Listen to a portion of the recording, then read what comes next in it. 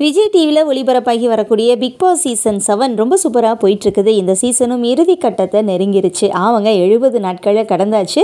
Big pass வீட்டில் இப்போ பதிமூணு போட்டியாளர்கள் தான் இருக்கிறாங்க. அவங்களுக்கும் இடையில கடுமையான போட்டி நடந்துட்டுருக்குது. இதில் கடந்த வாரம் எவிக்ஷன் நடக்காததுனால இந்த வாரம் கண்டிப்பாக டபுள் எவிக்ஷன் இருக்கும் அப்படின்னும் எதிர்பார்க்கப்படுது. இந்த நிலையில் பிக் பாஸ் வீட்டில் ஒரு போட்டியாளராக இருந்துட்டு வர்றவர் தான் நடிகர் கோல் சுரேஷ். இவர் அங்கே இருந்து கண்டிப்பாக வெளியே போகணும் அப்படிங்கிறதுக்காக சுவரேறி குதிக்க முயற்சி பண்ணியிருக்கிறார். இந்த சம்பவம் தான் இப்போ ரொம்ப பரபரப்பை ஏற்படுத்தியிருக்குது. இந்த வாரம் ஆரம்பித்ததில் இருந்தே வீட்டோட ஞாபகமாகவே இருக்குது அப்படின்னு சொல்லிட்டு வந்தார் குல் சுரேஷ். எப்படியாவது நான் வீட்டுக்கு போகணும் அப்படின்னு சொன்னவர் மற்ற போட்டியாளர்கள் கிட்டலாம் என்னை நாமினேட் பண்ணுங்க அப்படின்னும் அவர் வேண்டுகோள் வச்சார்.